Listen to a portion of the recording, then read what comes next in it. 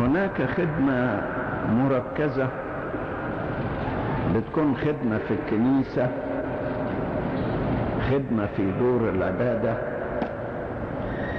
خدمة وسط الجموع. مثل مثلا خدمة المسيح في العظة على الجبل خدمته وسط في معجزة الخمس خبزات والسمكتين كان في خمس تلاف راجل غير النساء والأطفال. خدمته في المجامع. خدمته وهو واقف في السفينة بيعظ الناس في بيت بيعظ الناس. لكن هناك خدمات أخرى عابرة. في مقابلات عابرة. في الطريق. خدمة في الطريق. أو تقول خدمة على الماشي. خدمة في الطريق خدمة على الماشي.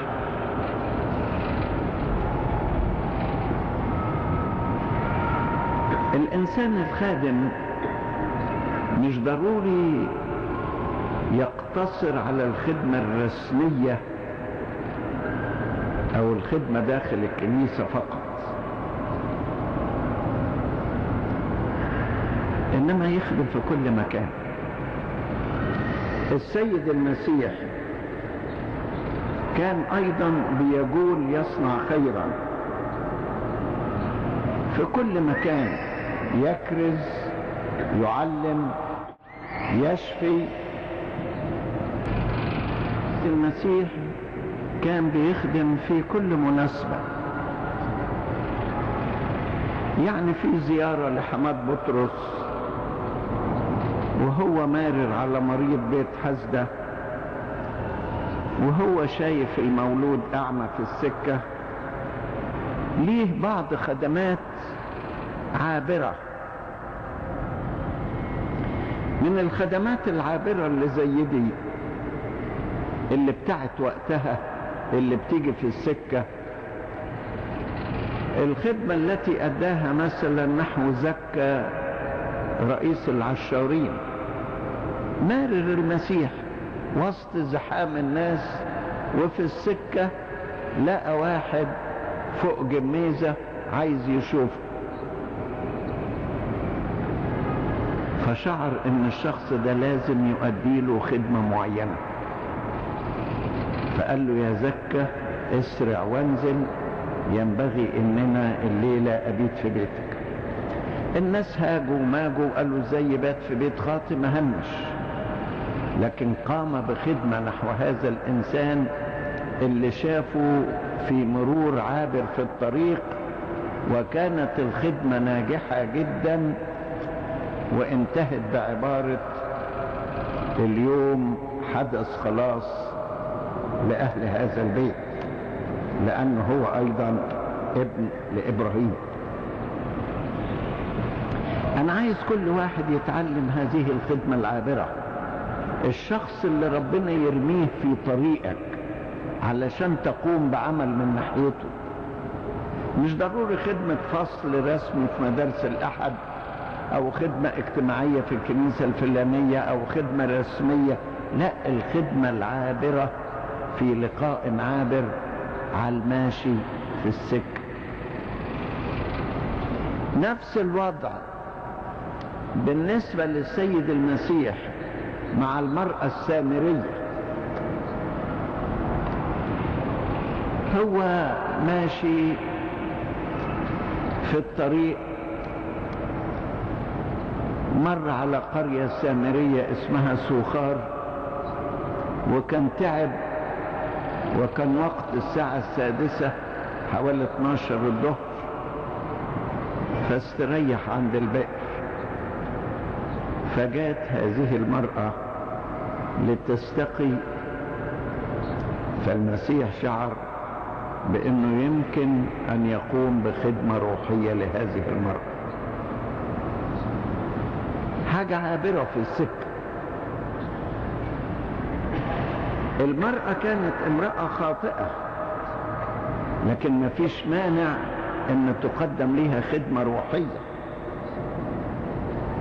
والسيد المسيح اتكلم معاها بمنتهى الرقة. لم يحدثها عن التوبة وعن عقوبة الخطية ولا حاجة أبدا. حدثها عن الماء الحي الذي كل من يشرب منه لا يعطش أبدا.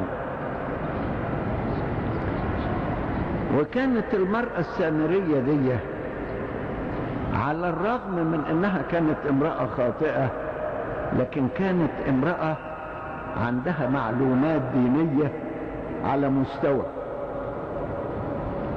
اوعوا تفتكروا كل الخطاه دول يعني الحكاية ملخبطة معاهم على الآخر. لا ده في خطاه على مستوى. اولا لما كلمها وقال لها اعطيني لاشرب قالت له إزاي بتكلمني وبتطلب مني وانت راجل يهودي وأنا امرأة سامرية واليهود لا يعاملون السامريين. يعني بنت عندها معلومات. وبعدين قالت له أيضا إن آباؤنا سجدوا في هذا الجبل. وانتوا بتقولوا ينبغي السجود في اورشليم عايزه تناقش في هذا الموضوع. وبعدين قالت له إحنا بننتظر المسيح ولما يأتي يخبرني بكل شيء. يعني عندها ركيزة دينية لكن ماشية في الخطية. فما فيش مانع إن السيد المسيح يكلمها ويجتذبها إلى التوبة بدون ما يجرح شعورها. وقد كان واستطاع بهذا المرور العابر إنه يجتذبها ويخليها تعترف بخطيتها وقالت له أرى إنك نبي. ما تكونش انت المسيح. وذهبت وتركت الجرة وراحت تبشر. خدمة عابرة. لكنها جابت نتيجة. وخلصت فيها هذه النفس. هو إحنا لو ما كانش مجموعة من الناس نعلمها يبقى ما فيش؟ لا. ممكن نخدم الخدمة العابرة الطياري اللي موجودة في السكة دي. أيضا السيد المسيح من ضمن الخدمة اللي في الطريق دي وهو ماشي لقى بطرس وأندراوس بيصيدوا فدخل معاهم في الخط. ونصحهم بالصيد المظبوط يكون إيه. ولما لجأ عندهم استجابة قال لهم أنا عايز اخليكم صيادي الناس وبقوا من تلاميذه وهكذا مع يوحنا وأخوه يعقوب دي حاجة في السكة وهو ماشي. وأصبحوا الناس دول من أكتر الناس خدمة. أيضا وشاول الطرسوسي ماشي في السكة رايح دمشق وعايز يجيب ناس ويرميهم في السجن في الطريق ظهر له المسيح. وقال له لماذا تضطهدنا واجتذبوا إليه. وصار تلميذا له. وصار رسولا للأمم. إزاي؟ في السكة وهو ماشي. في السكة وهو ماشي. يا ريت تتعلموا الخدمة اللي على الماشي اللي في السكة اللي في الطريق. اللي غير الخدمة الرسمية. أنا عارف كتير منكم خدام ولهم خدمة رسمية لكن الخدمة دي اللي على الماشي هي اللي عايزكم تتعلموها. ربنا برضو إدانا مثل السامر الصالح. أهو السامر الصالح وهو ماشي في السكة لا إنسان جريح. مر عليه الكاهن وجاز مقابله ومر عليه اللاوي وجاز مقابله لكن هو أول ما شاف الرجل الجريح شعر في قلبه إن, إن عليه رسالة نحو هذا الرجل الملقى على الأرض. فنزل من دبته وعالجه وصب على جراحه خمرا وزيتا وركبه على الدابة ووداه فندق وقال للراجل تعتني بيه وأدي الدينارين ومهما احتجت أدفع لك تاني. دي خدمة في السكة. كام واحد ربنا رماه في طريقك علشان تعمل معاه عمل وما عملتش؟ جايز ربنا عايز تعمل عمل مع زميلك في الشغل. جايز عايزك تعمل تأثير روحي على الجار بتاعك اللي انت جنبه. على صديقك على معارفك على أي واحد بتقابله في السكة. أظن عار كبير إن إحنا نعاشر ناس وجايز نقعد معاهم عشر سنين أو خمستاشر سنة من غير ما نقدم لهم أي خدمة روحية. عابرة على الماشي في السكة. يا ريت كل واحد ضميره يأنبه على الأشخاص اللي ربنا رماهم في سكته. وجايز بدل ما يرشدهم لطريق ربنا ينتقدهم يعملهم بقسوة باحتقار إلى آخره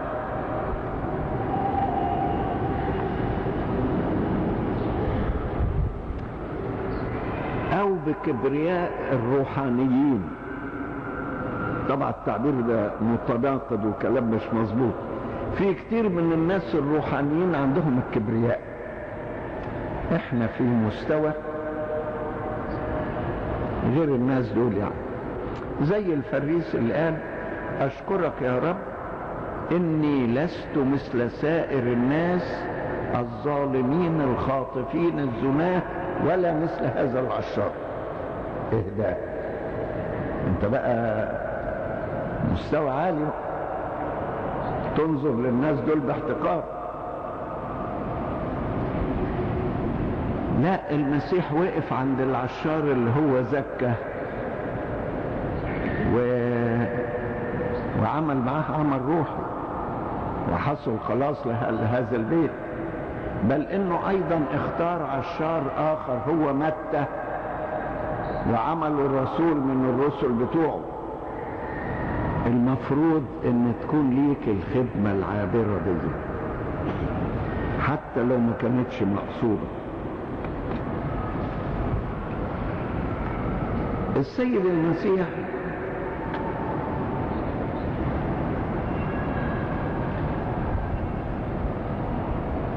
عمل كده مع القديس الأنبا بشوي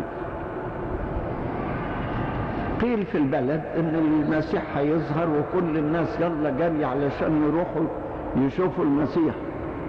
وأنبا بشوي رايح لقى راجل غلبان مش قادر يتحرك عايز واحد يشيله يوصله. ممكن تشيلني توصلني هروح أنا راخر الكنيسة. خدمة عابرة بالنسبة للأنبا بيشوي فشال هذا الرجل الغلبان وطلع ان هو المسيح. خدمة عابرة بالنسبة للأنبا بشوي وخدمة عابرة بالنسبة للسيد المسيح مع الأنبا بشوي حاجة في السكة كده على الماشي وتجيب نتيجة كويسة نتحدث عنها. حتى الآن. ربنا برضو حتى في العهد القديم كان فيه هذه اللقاءات العابرة اللي ليها فايدتها وقوتها.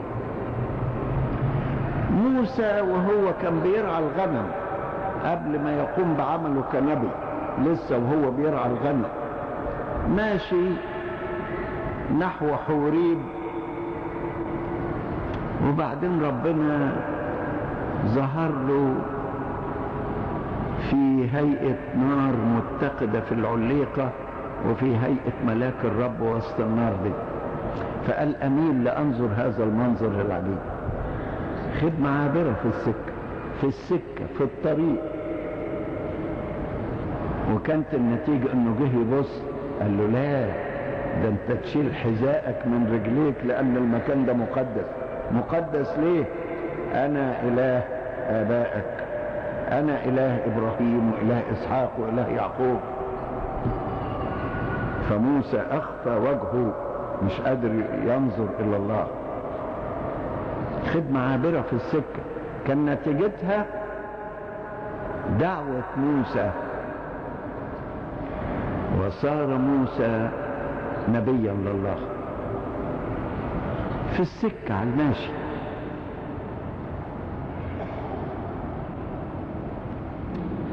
صدقوني هذا الأمر. مش بس سلك فيه ربنا ده سلك فيه أيضا الملائكة. إزاي الملائكة؟ في مرة من المرات كان الله على المركبة بتاعته وعلى العرش وحوله السارافين كلمة سارافين اسم جمع مفردها ساراف المفرد ساراف وجمعها سارافين زي المفرد كاروب وجمعها كاروبين وبعدين قاعدين يقولوا قدوس قدوس قدوس رب الجنود السماء والأرض مملوءتان من مجدك. فأشعيه. سمع الكلام ده الويل لي قد هلكت لاني إنسان نجس الشفتين وبعيش وسط شعب نجس الشفتين.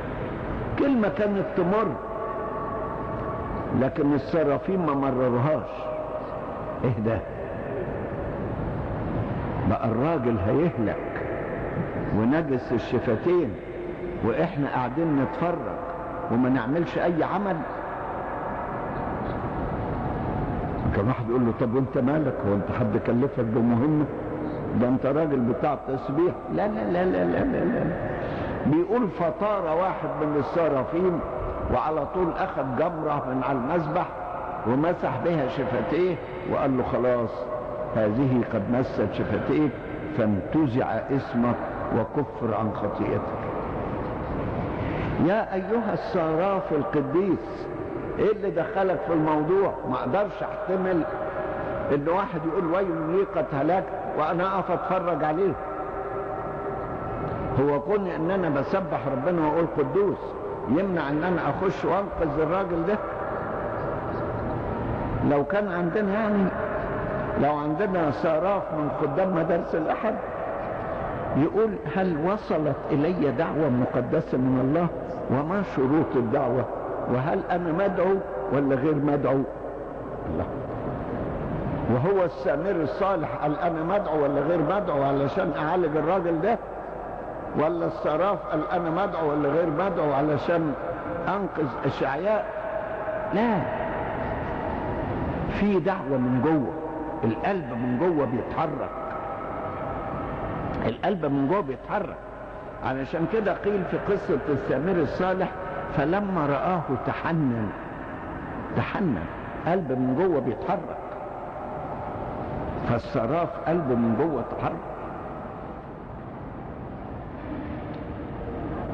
إيه لو انت حصل معاك حاجة زي كده ولقيت آه واحد بيقول ويل لي قد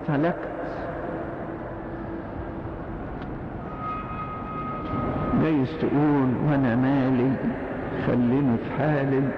ما ينوب المخلص إلا تقطع هدومه وخليني بعيد عن الراجل ده أحسن يلبسوني تهمة وتاخد بعضك وأنت ماشي. وتقول هو ربنا دعاني ما دعانيش. هو دي من اختصاصاتي.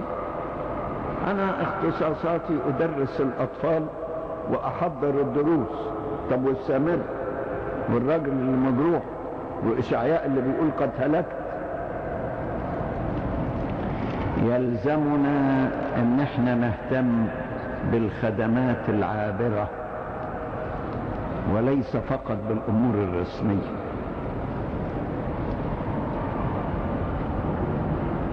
من ضمن الخدمات العابرة دي خدمة في في لبس مع الخصي الحبشي. الراجل ماشي في السكة بيقرأ سفر إشعياء وربنا قال له رافق هذه المركبة. في مركبته فرح له أنت يا عم بتعمل إيه؟ أنا قاعد أقرأ في سفر إشعياء. قال له أنت فاهم اللي بتقراه؟ قال له ولا فاهم. قال له فاهمك. وفضل معاه يشرح له لأن إشعياء ده مليان من النبوات عن السيد المسيح لدرجة إن بيسموه النبي الإنجيلي.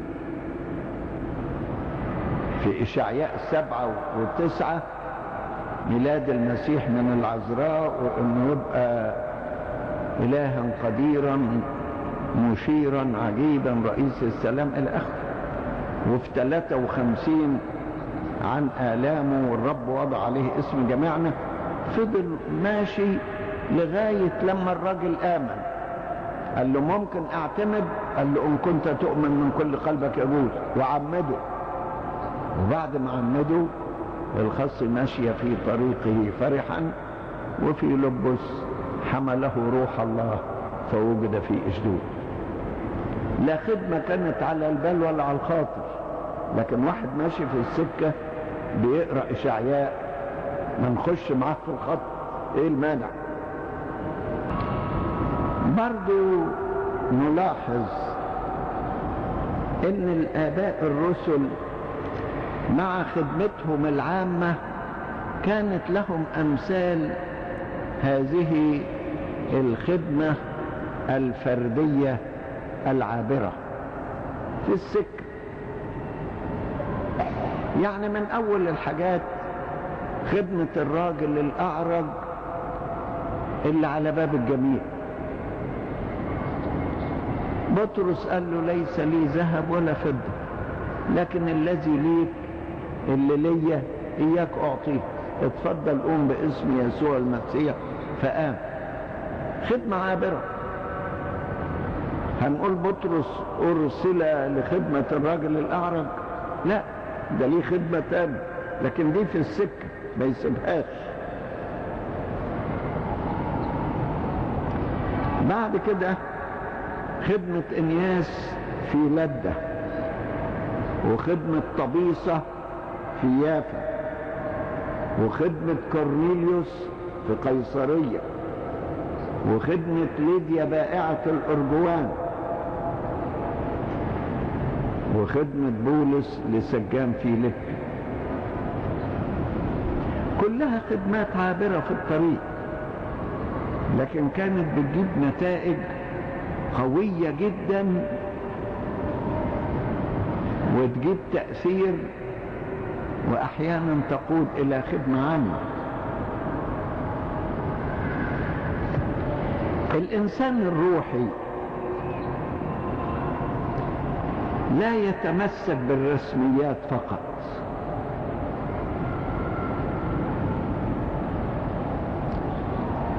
لا يتمسك بالرسميات فقط. في كل مكان يوجد فيه بيؤدي خدمة. منين ما يفتح له باب للخدمة يخش منه. منين ما ربنا يوجد فرصة يستغلها بس يكون عنده استعداد إنه يخدم. لكن مش يقعد كده ولا هو هنا وكأنه مش مسؤول. يقول لك لا لا لا لا ده في آية بتقول إن الإنسان لا يرتقي فوق ما ينبغي. فأنا إيه اللي دخلني في حاجات زي دي؟ لا يا حبيبي خش. عشان يخش الواحد لازم ضميره يتحرك من جوه لازم قلبه يتحرك من جوه لأن مش معقول إنه يخدم الخدمة العابرة بدون ما يتحرك قلبه من الداخل. اللي ضميره حساس بيتحرك قلبه من الداخل. اللي ضميره حساس بيتحرك قلبه من الداخل. اللي قلبه حنين نحو الآخرين بيتحرك من الداخل. يقول لك فرصة. ربنا اديها لي ما أسيبهاش. ما أسهل تلاقي واحد بيسكن في حي من الأحياء العشوائية؟ آه قاعد في حاله. ولا يتحرك. وإنسان آخر يقعد في المنطقة العشوائية تلاقي يشعللها. يشتغل مع ده ومع ده ومع ده ومع ده. وتبص تلاقي أوجد له خدمة من حيث لم يكلفه أحد. لكن اللي كلفه إيه؟ ضميره وقلبه من جوه.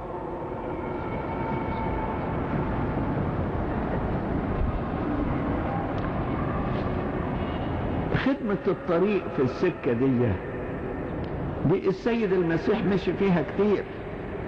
كان يمشي في السكة كده يلاقي مكان فيه زهور فيه أطيار يقول لهم شوفوا تأملوا زنابق الحقل. دي لا بتحصد ولا بتزرع ولا عندها مصانع نسيج ولا حاجة زي دي. ومع ذلك ولا سليمان في كل مجده كان يلبس كواحدة منه أهو ربنا برضو يهتم بيكم زي ما يهتم بالزنابق وانظروا طيور السماء. هذه لا تزرع ولا تحصد ولا تجمع إلى مخازن وأبوكم السماوي يقوتها. كم بالأولى أنتوا أفضل من عصافير كثيرة. الله مجرد رؤيتك للزجاجة تلاقي فيها درس روحي. مجرد رؤيتك للطيور تلاقي فيها درس روحي. آه كله دروس روحي.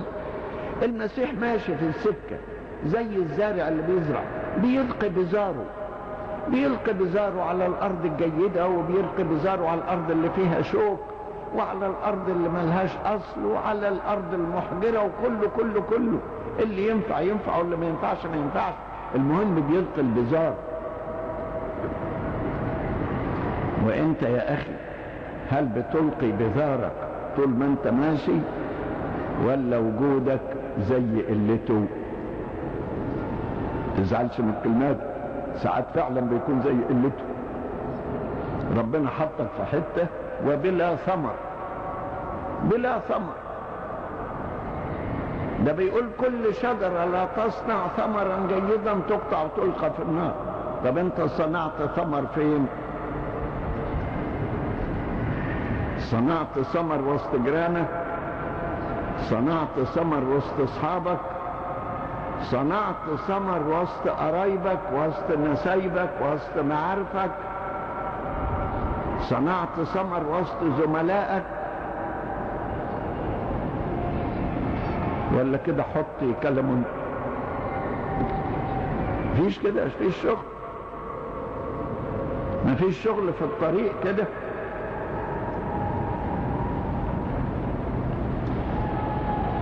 صدقوني في الطريق. إن لم تجد عملا روحيا على الأقل تجد عمل تأمل. تأمل.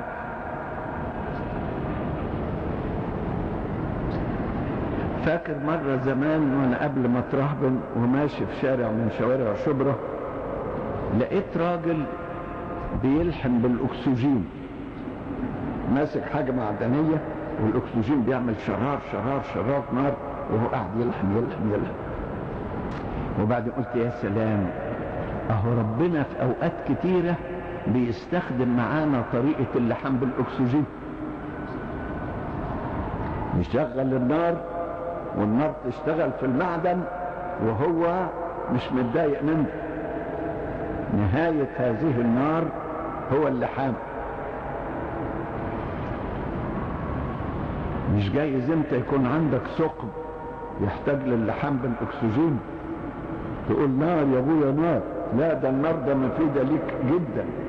النار دي تفيدك وتلحم الثقب اللي عندك. ومرة ماشي برضو وشفت في الشارع في عربية كر وفي عربية ملاكي فخم أيهما أفضل دي ولا دي؟ قلت في عقلي لا. كلاهما يؤدي رسالة لا يستطيعها الآخر. العربية الفخمة المرسيدس دي ما تقدرش تشيل شولة دقيق ولا شولة قمح ولا حاجة من النوع ده ولا خشب ولا أساسات. دي تؤديها العربية الكر كل واحد في حدود اختصاصه بيؤدي واجبه تأدية مظبوطة. لا تتكبر العربية الملاكي على العربية الكرو ولا العربية الكرو تقول إيه كبرياء الملاكي أنا في تواضع. لا لا لا لا. كل واحد في سكته ماشي بيؤدي في حدود اختصاصه. أنت لو إنسان ماشي في الطريق تحول كل شيء مادي إلى شيء روحي. الإنسان الروحي يستطيع انه يخدم في الطريق يخدم في الطريق زي الراجل السامري الصالح وأيضا يستطيع أن هو ينجو من عثرات الطريق ويستفيد حتى من العناصر الشريرة يعني مرة واحد من القديسين ماشي لأ واحدة ست قاعدة تبص فيه كده وتتأمله. غالبا كان القديس إفرام السورياني قال لها يا ست بتبصي لي كده ليه؟